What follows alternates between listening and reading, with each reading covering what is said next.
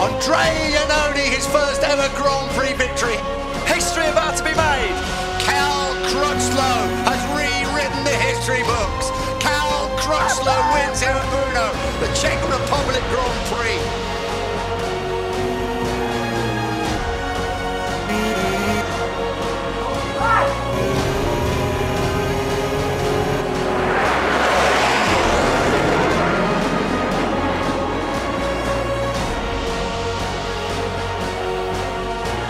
History in the making. Dani Pedrosa, the eighth winner this season in MotoGP.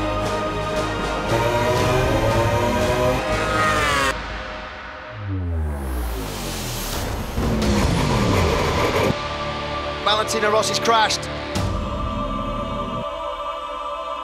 Oh, Lorenzo's down. That's it. It's game over. Marquez is the world champion. Marc Marquez is crowned the 2016 MotoGP World Champion. Never say never in MotoGP.